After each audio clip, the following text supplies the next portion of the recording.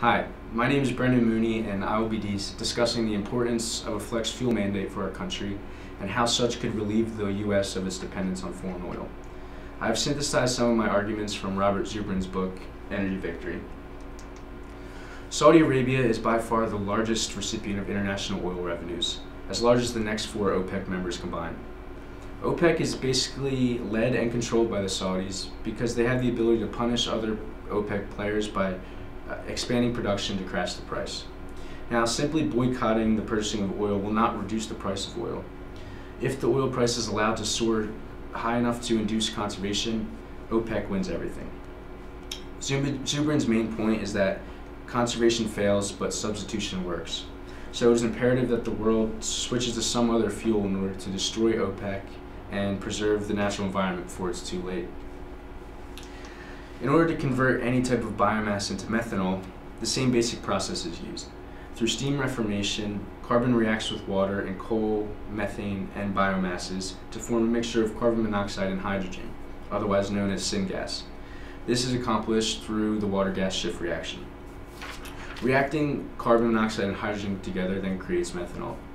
The same strategy can be converted to any type of, or can be used to convert any type of trash, and or composed of compounds of car carbon, hydrogen, and oxygen, with some impurities to synthesis gas and then methanol. It has been calculated that about 4 billion tons of agricultural crop residues are produced worldwide every year, uh, with a total energy content equivalent to 1.5 billion tons of oil per year, or 28 million barrels per day. If it were all converted to methanol, this source alone would be enough to replace the combined oil exports of all OPEC. Ethanol, on the other hand, has about two-thirds the power density of a gallon of gasoline, and in recent years, it has been based heavily on the conversion of corn. However, only limited fractions of the plant that farmers grow are actually sold as commercial crops. Uh, large quantities of the vegetable, such as the stems, roots, and leaves, are left to waste. So the issue is that these parts of the plant aren't able to be converted to, cellu- or to methanol because they're made of cellulose. But Ex currently, ex extensive research is being done uh, in order to make this conversion large scale. Now, the grazing animals that are able to break down cellulose in their stomach have certain enzymes, and once uh, humans can invent a microorganism that can transform cellulose into fermentable starch or sugar, humans could even convert the discarded leaves of autumn into ethanol. Now, one of the most controversial topics of our of our generation is the presence of climate change.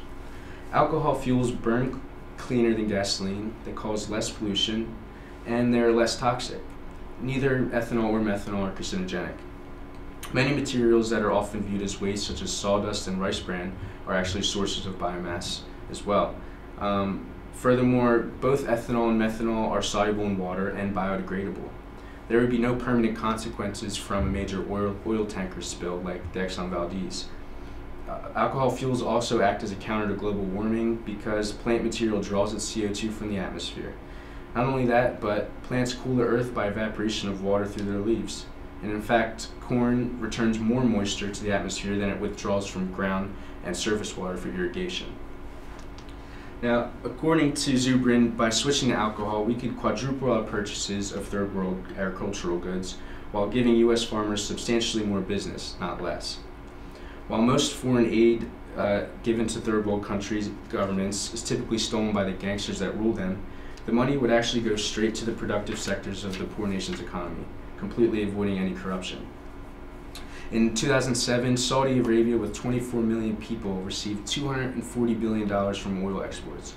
Simultaneously, Kenya, with 36 million people, earned $3 billion in foreign exchanges from all sources. Now, Zubrin believes if distributed elsewhere, Saudi oil profits could double the foreign exchange of 80 countries like Kenya. Now, the best way to introduce an initiative for alcohol fuels would be the U.S. government setting a mandate that all new cars sold are to be flex fueled. As of now, high alcohol fuel pumps are, are rare, and only 7% of all the cars on the road are actually flex fuel uh, compatible. Um, but if a mandate were set in place, E85 and M85 pumps would start showing up all around the world and the country, and Al- although efforts have been made in California, it still has not been effective nationwide.